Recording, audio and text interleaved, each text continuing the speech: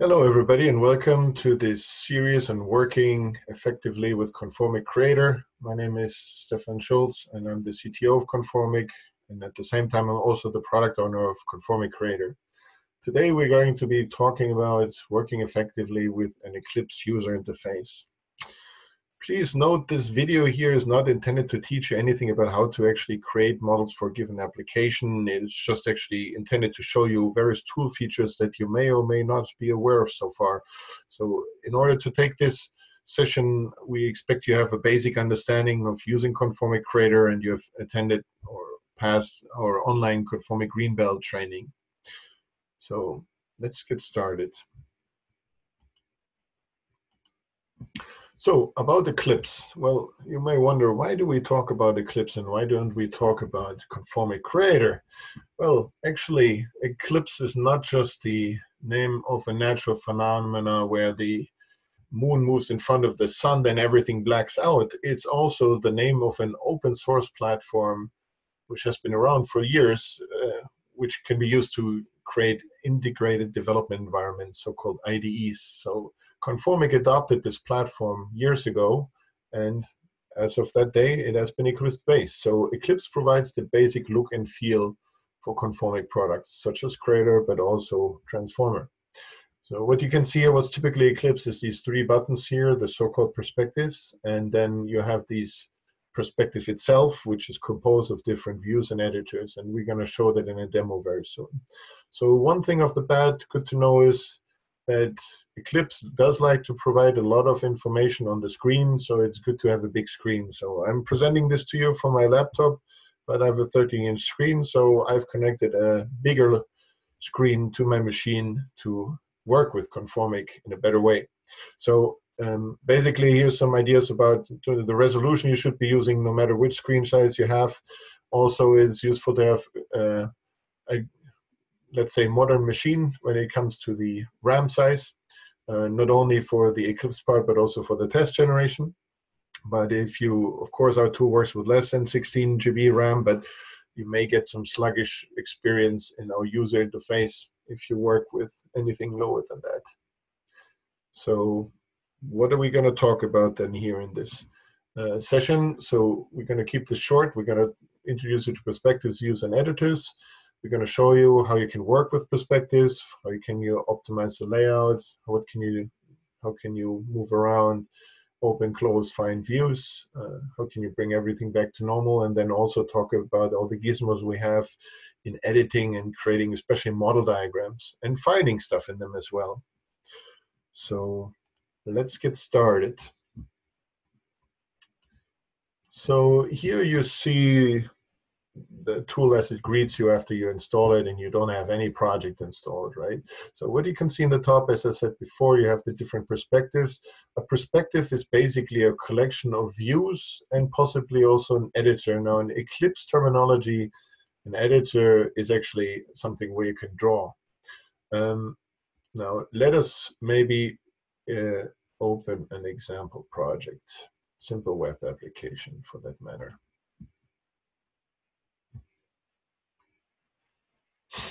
So, okay, here we are.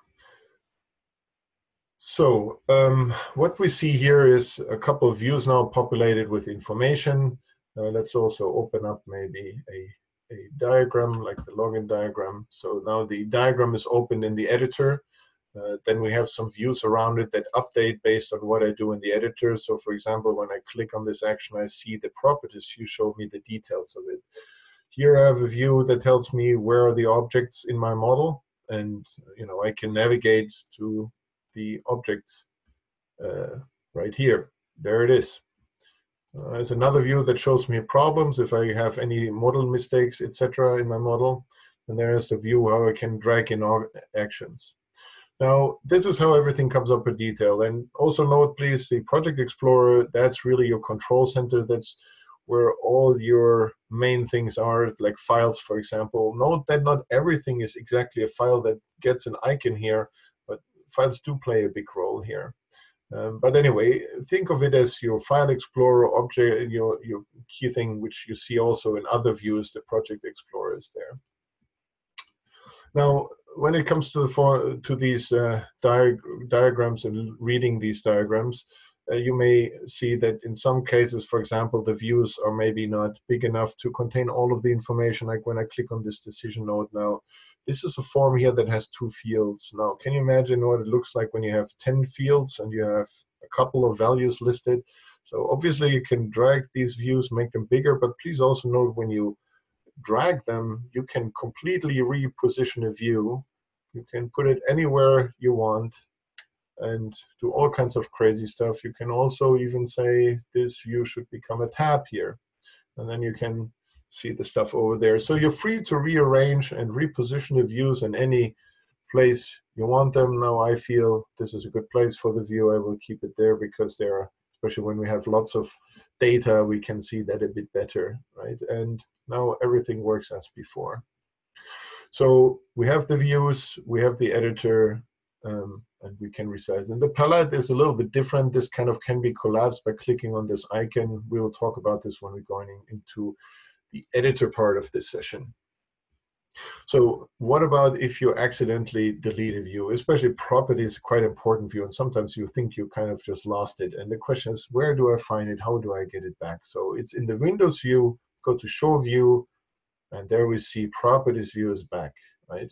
So uh, other views that are also could be helpful uh, are here, and here you also see some more of the standard Eclipse views, like this general views are standard Eclipse, whereas the Conformiq specific views that we have.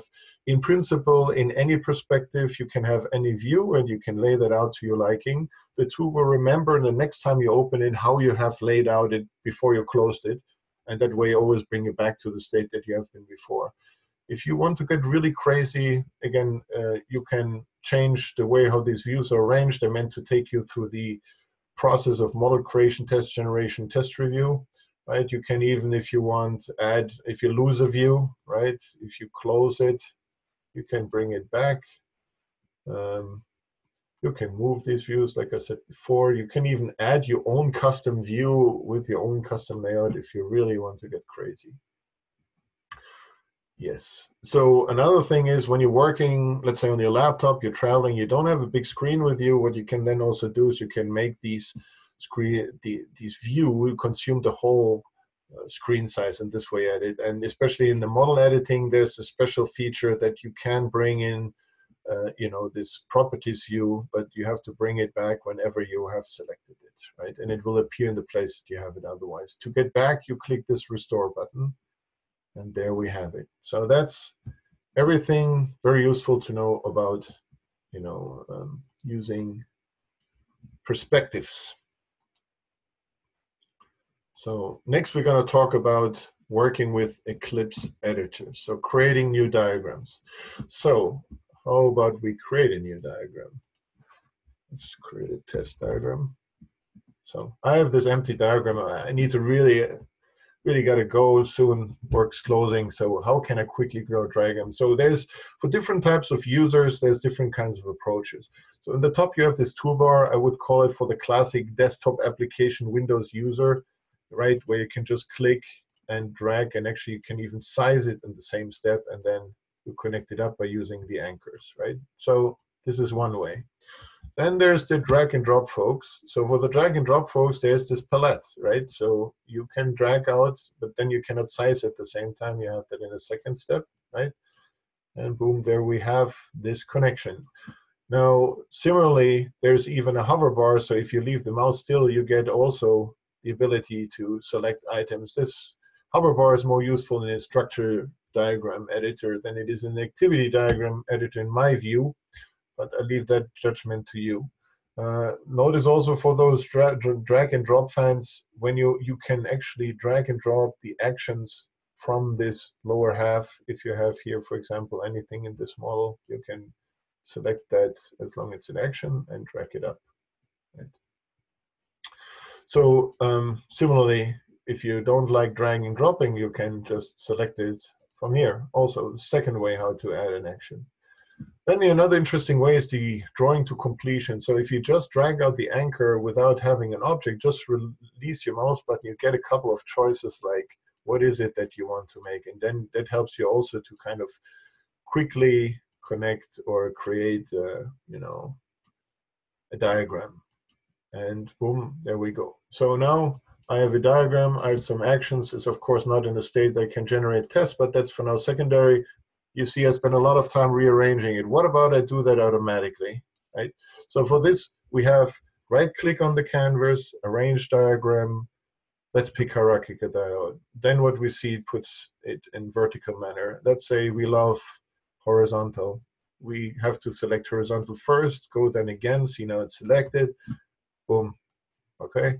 Now I can move this diagram around and do it like this. So these are a few ideas here how you could speed up creating diagrams. Obviously, uh, as we will talk in later sessions, there's the importers, which are the ultimate thing to create these diagrams. You should not be creating everything by hand, but just for the record, there is also the same features available for the structure diagram. So I can create a form, I sorry, a, a screen. I can put in a form and look then the beautiful thing.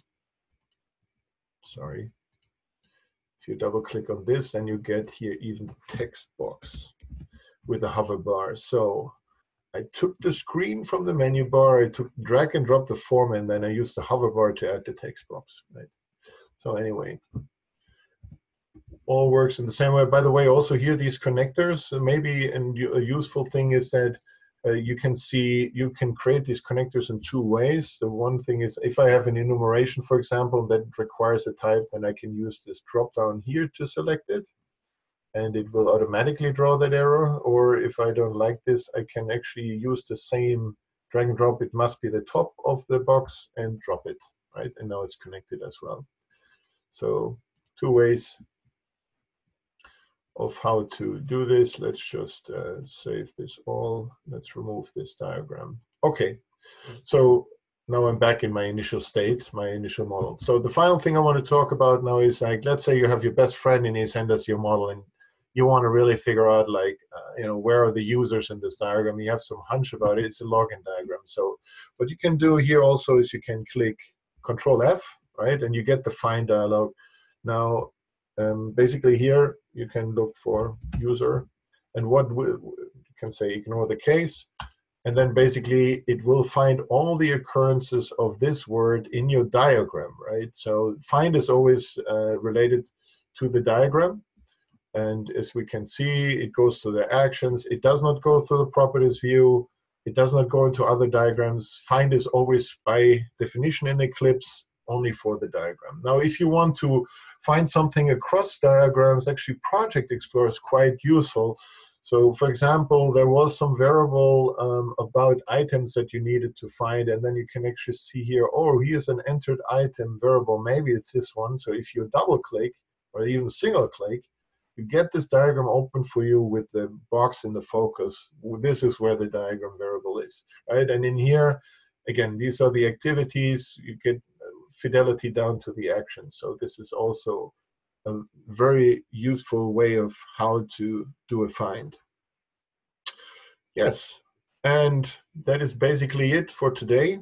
Um, that leaves me with the final slide on this session with the summary. So I thank everybody for watching and I hope this has been useful and you've learned a few tips and tricks how to make your life faster and better. And we hope to see you again on this second video in this series.